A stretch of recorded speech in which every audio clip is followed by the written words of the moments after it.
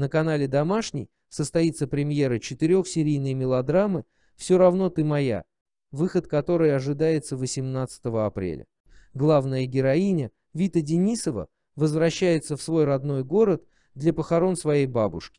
Изначально Вита планировала остаться в городе всего несколько дней, однако непредвиденные обстоятельства заставили ее задержаться на несколько лет.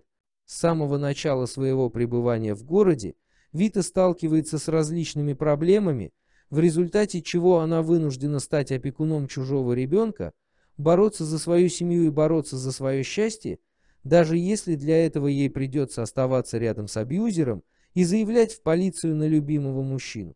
Но Вита не сдастся и сделает все, что в ее силах, чтобы стать счастливой и сохранить свою семью.